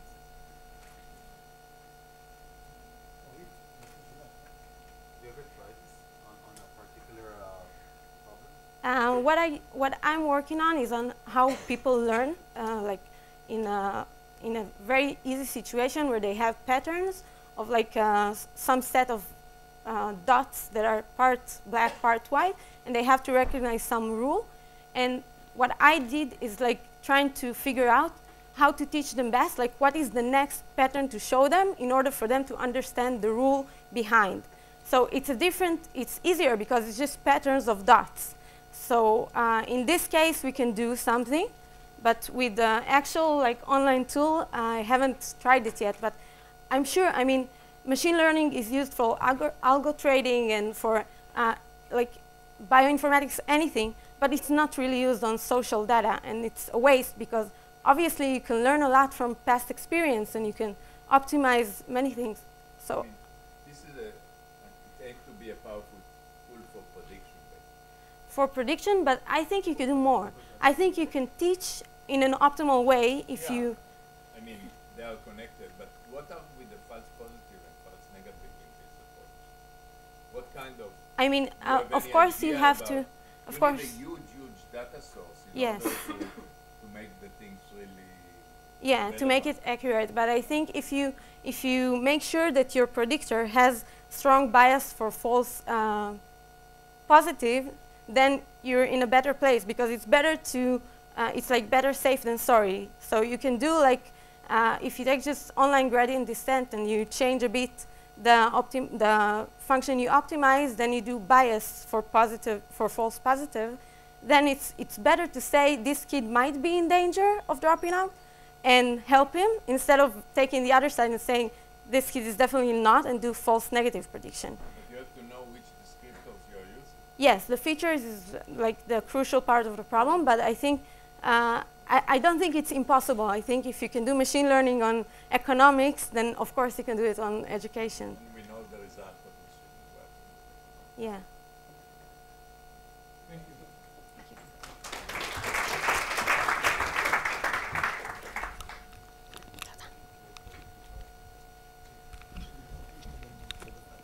Mm -hmm. בצד ההוא? לא. שלא יס-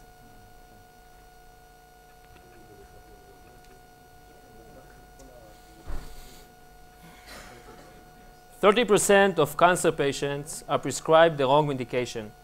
This means that he or she gets a drug which doesn't work.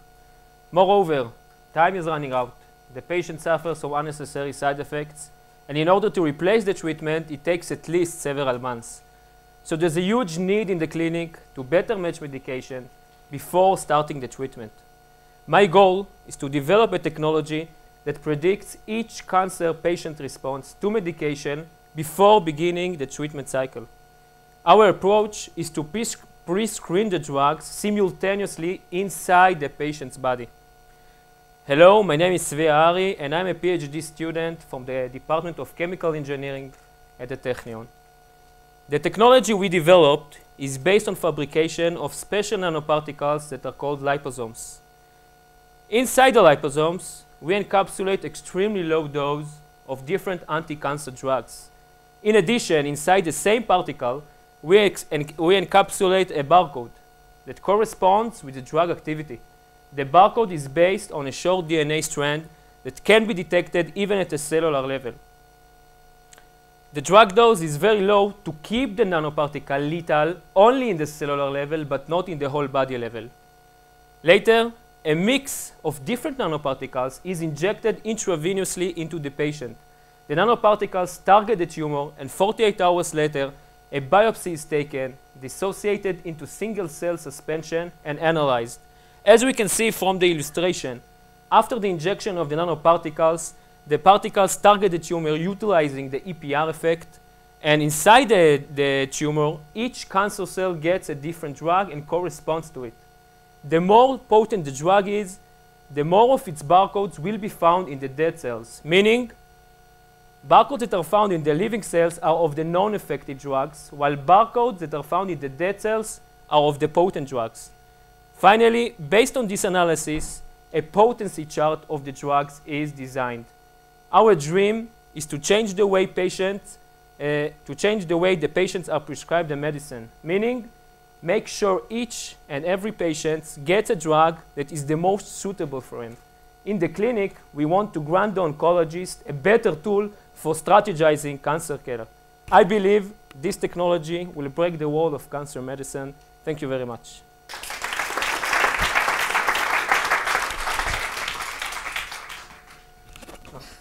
Questions? Yes.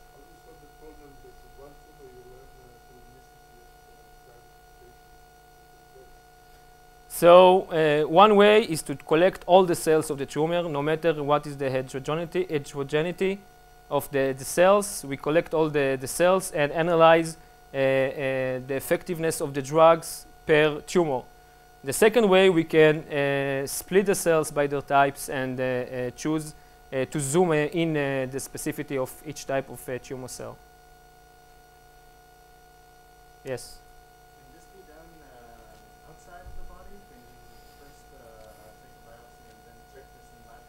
Of course, this is what is done uh, now in laboratories and hospitals, but I think that the novelty of this technology that it all happens inside the patient's body. You don't change any parameters that can affect the tumor. You don't take it out from the body, and the whole uh, uh, uh the whole data and analysis is is 100% real. It's not a prediction or. So 30% uh, um, is after this screening outside of the body. no, no, no, no. So what is the situation? The common less, about 10%. The common um, screening are uh, more effective than just guessing the, the drug or uh, uh, uh estimating uh, in old protocols, but it's not 100% and it's uh, very highly cost and it takes money, it takes time to get these results and by this time the tumor is changing. And this, this period of time is only maximum 48 hours, it's very quick and it represents the real, real situation inside the, the patient. Yes. From the very popular medicine magazine called Haaretz, deal with one of these guys, I know that there are talks about genetical analysis of an individual patient with, the proper drugs. I don't know if it's related to cancer or other diseases. What's the relations between the two? Uh, currently none. We don't estimate on any genetic uh, uh, uh analysis. We look at the tumor as a big black box and we want to figure out what is the best medicine or cocktail. I understand that part of your lecture, but the question is other, uh, my question is from the other way. If you could ana analyze me genetically and then fit the drug to myself. So it, it will be much more accurate because then I can reduce the, the cocktail of the drug that I want to pre-screen. It will be much more accurate. Yes, indeed. Okay, so your solution is uh, before the overall genetic analysis? In addition, in addition. It's a parallel path.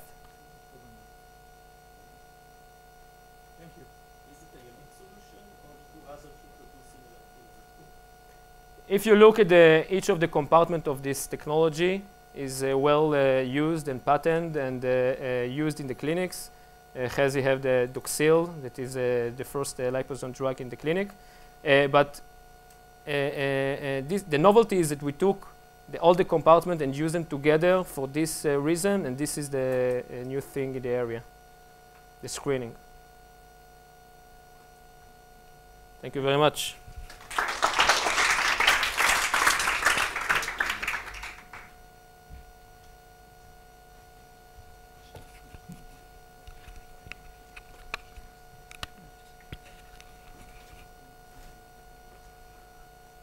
Little bit excited, so forgive me. My name is Or Yahalom. I'm from the Hebrew University of Jerusalem. And uh, my idea is about how to enable plants to breathe nitrogen instead of taking it from the ground. The problem is that the fertilizing industry is costly and high energy consuming that pollutes and causes extensive environmental damage. Although nitrogen makes up almost 80% of the atmosphere around us, plants cannot use this nitrogen to produce vital molecules such as DNA and amino acids. However, we know a few, a few bacteria that can use this nitrogen. They do it by using a protein complex called nitrogenase. The chemical reaction of transforming atmospheric nitrogen into ammonia requires a poor oxygen environment. In my view, because of this reason, plants that perform photosynthesis and generate oxygen cannot fixate nitrogen. Let's talk about the solution. First, in order to create a poor oxygen environment, we need to reduce the amount of chlorophyll in the bundle sheath tissue that is isolated from the atmosphere around the vascular bundles of the plant. Uh, reducing the amount of chlorophyll can be done by uh, RNA interference, which silences the gene chlorophyll synthase.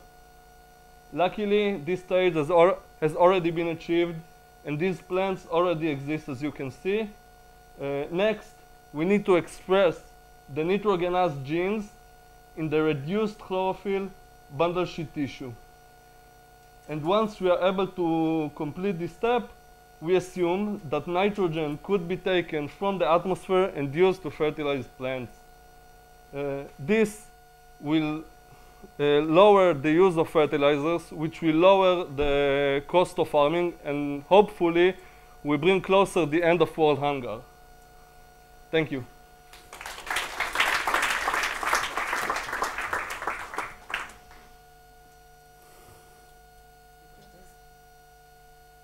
So the first stage has already been done. In what context? Uh, we want to do it ourselves in uh, our lab, but we found that someone that done it uh, in uh, Cambridge University. We got the we got the seeds and we grow them up to test uh, to test them, and we need to proceed with the. No, but why did he do it? What is what He other people doing? he wanted to to learn the the the function of the chlorophyll in the C3 plants. Uh, uh, in C3 plants, uh, there is a difference between uh, uh, C4 and C3 plants. It's a different method of photosynthesis. So we wanted to check the the the function of the chlorophyll in this tissue.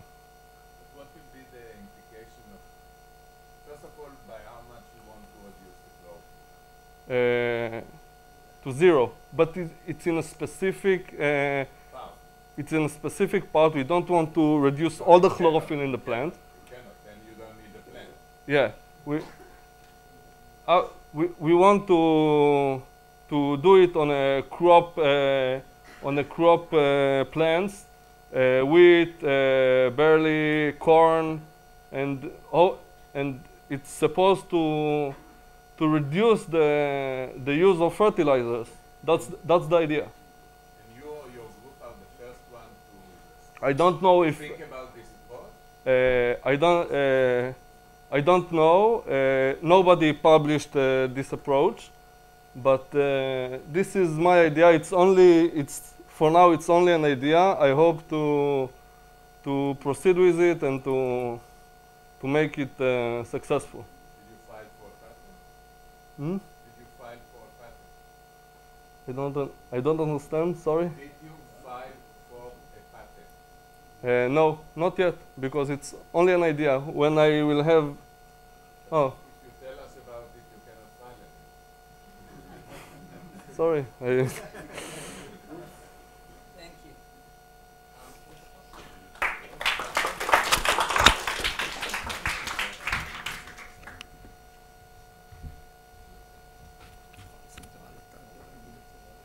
נמצא כזה סבבה? תפשט לי בצד ההוא, כי פה זה מסתיר קשה. זה מעביר? כן. Hi everyone, I'm last but not least. I hope I, אני אחרונה חביבה. My name is Anat Zimmer and I'm from the Weizmann Institute. I'm a PhD student. Today I'm going to talk about breaking the walls of uh, finding effective drug cocktails to treat cancer. I'm going to break the walls of uh, cancer treatment. so uh, why to use drug cocktails uh, to treat cancer? Because uh, they can make the disease chronic but manageable. A disease that one uh, can live with and uh, control it using drugs. I'm not uh, talking about uh, curing the disease, but control it and uh, make it a, a, a condition where one can live with it. And why is that? Because drug cocktails may answer the major problems that the current drug treatment encounters, such as sorry, such as resistance. Um, resistance is a big problem. Uh, to gain resistance to a single uh, to a single uh, drug is very easy. It's very common. However, to gain resistance to a drug cocktail of let's say six drugs in a cocktail, it's very hard because the cell has to change six cellular pathways all at once, and the chances for that are practically zero. Therefore, drug cocktails eliminate this problem, as well as all other problems that are listed behind me, and I don't have time to talk about. There are very good reasons why to use drug cocktails. Uh, you have to trust me on this. Uh, however, you don't see uh, much of use of uh, three, four, five, six, and more drugs in a cocktail in use in the clinic. And the reason is before you give any treatment to a patient, you need to test it and see that you get the desired result. A desired result in this case would be to kill the cancer cells while not harming uh, the patient. Uh, let's say that you have 10 drugs uh, in a fixed dose. You can make, you can combine them into over 1,000 possible uh, combinations. You need to test all of these combinations in order to find the effective ones. If you have 20 drugs in three doses, you already have the number jumps to three and a half billion possibilities. Number of drug cocktails increases exponentially with the number of drugs and doses. Nowadays, we have hundreds of drugs, uh, and you need to test for at least 10 doses. It makes an astronomical number of experiments that no drug company or researcher or anyone on this planet will ever do, not for a single type of cancer and even more so for individual patients. Therefore, we need some kind of a, of a method to uh, overcome this uh, combinatorial exposure. A method where you sample some of this, um, some of this uh, combinatorial space and accurately predict the rest of it. This is exactly what we have uh, developed in our lab. Uh, our method requires only to measure pairs of drug, study the interactions of pairs of drugs, and uses this information, using this information, you can uh, accurately predict how drugs will affect cancer cells when they are combined in, uh, in groups of three, four, five, six, and more drugs. This is reduces the problem from an exponential one into a linear one, make it feasible and testable in the lab. Now we are working to show that our method works to any type of uh, drug, any type of cancer, um, and it does an individual patient. Patients. Our long-term vision is that when a patient will be diagnosed with cancer, cancer cells will be ah.